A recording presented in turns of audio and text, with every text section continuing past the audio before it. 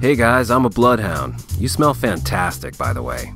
We bloodhounds are very affectionate and gentle. However, we can be difficult to obedience train due to the fact that we follow our nose, and we don't care what you say when we're tracking a scent.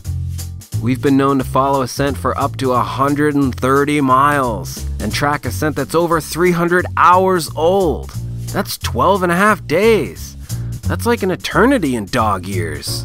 Although our exact origins are not entirely known, bloodhounds were definitely established in Europe when William the Conqueror took the crown in England roughly 1,000 years ago. We were bred to be hunting companions, sniffing out wild deer and boar. Although we aren't used for hunting purposes like we used to be, we are very useful for law enforcement.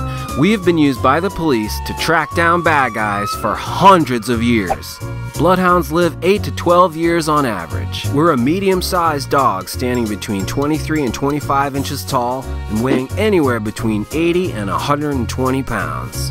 Bloodhounds are susceptible to a high rate of gastrointestinal ailments.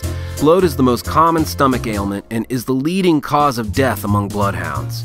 To combat this, make sure you feed me an hour before or after exercise from an elevated bowl. We're very well known for our long, droopy skin on our face and soft, droopy ears, but these actually help us with our sense of smell by trapping scent particles and then funneling them into our wide nostrils. It's pretty cool, right? Obedience training isn't the easiest thing to do with us. We just love to smell stuff, and our strong willed desire to sniff things makes us too preoccupied to pay attention. Just remember, when you're training us, we try to take charge, so you need to be kind but also the undisputed boss of the house. We're a good family dog and love children. Sometimes we can get carried away and knock kids over. This is just because of our size. We don't mean any harm. Being the gentle giant that I am, I make a pretty good apartment dog as long as you take me out for daily walks and let me sniff around. If left to my own devices, I tend to get bored and destructive, so keep me entertained if you want to keep that new couch. What I would prefer is a house with a yard so I can entertain myself.